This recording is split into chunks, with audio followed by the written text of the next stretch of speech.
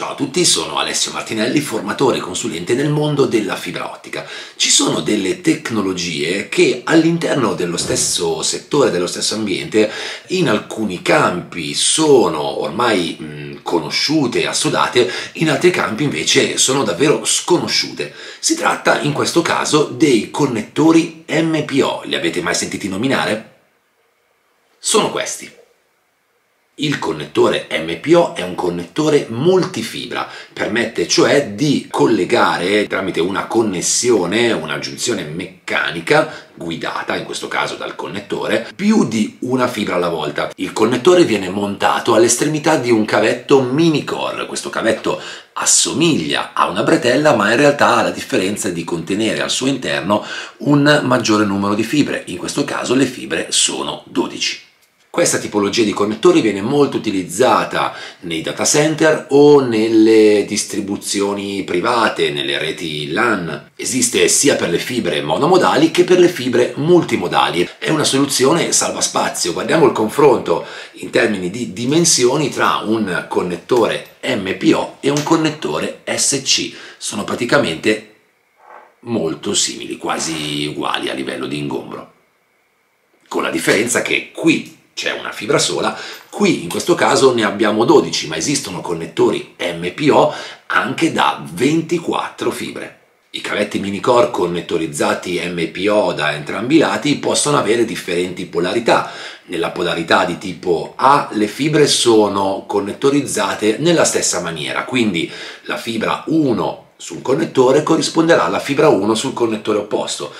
Nella tipologia B inversa invece la fibra 1 sul connettore corrisponde all'ultima, alla fibra 12, sull'altro connettore e così via fino alla fine. La terza polarità di tipo C a coppie inverse prevede che la fibra 1 sulla, sul rispettivo connettore sia invertita con la 2, la fibra 3 con la 4, la 5 con la 6 e così via.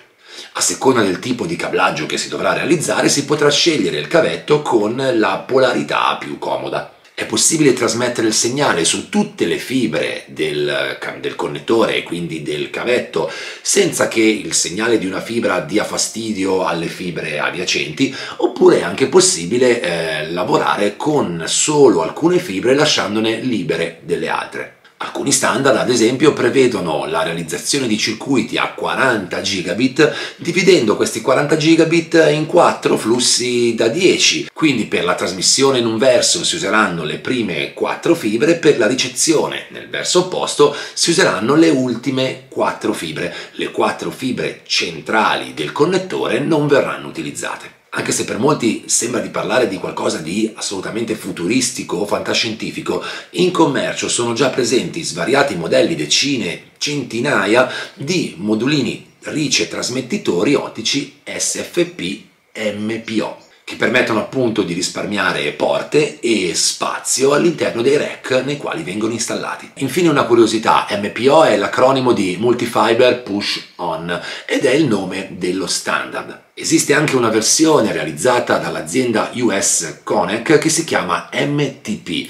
Eh, visivamente è molto simile, io non ho avuto modo di verificarlo, ma è un connettore che dovrebbe avere delle caratteristiche qualitative più elevate rispetto all'MPO standard. Per queste altre informazioni e curiosità sul mondo della fibra ottica vi invito a consultare il mio manuale Lavorare con la fibra ottica. Vi lascerò il link per l'acquisto su Amazon nella descrizione del video. Per oggi è tutto, spero che questo video vi sia piaciuto che abbiate scoperto qualcosa di nuovo su questi connettori che molti ancora non conoscono. Io sono Alessio Martinelli, per maggiori informazioni il mio sito fiberspecialist.it. Grazie, alla prossima!